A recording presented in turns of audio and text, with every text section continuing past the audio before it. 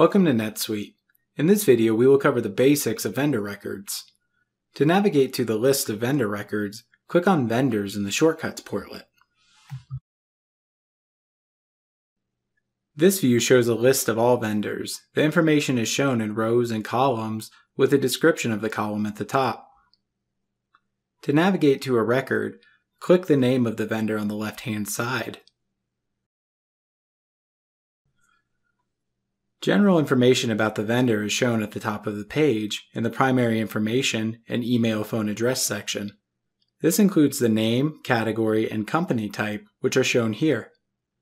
Below this is the subtab section of the vendor record. As a note, the subtab section varies from company to company. We will cover some of the most used subtabs in this video. The first subtab is the Relationship subtab, this subtab shows a complete list of any contacts at the vendor company. Pay particular attention to the contact's role. The contact's role defines what the contact's role in the company is. Roles can be assigned for such things as the primary contact, billing contact, or consultants. Custom roles for the contacts can also be created. To navigate between subtabs, click on the title of the subtab.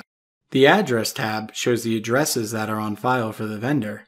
Default billing and shipping addresses will be indicated here. The Communication subtab tracks any emails sent to any contact at the vendor company through NetSuite. The Files tab within Communication is where files related to this vendor will be kept. The Financial subtab shows financial information about the vendor. The information in this page will vary based on your company's needs, but generally this is where information about payment terms, credit limits, and balance amounts are shown. The Purchase History subtab keeps a record of all items purchased from the vendor, including the status of the order. The other subtabs will not be covered in this video. Thanks for watching.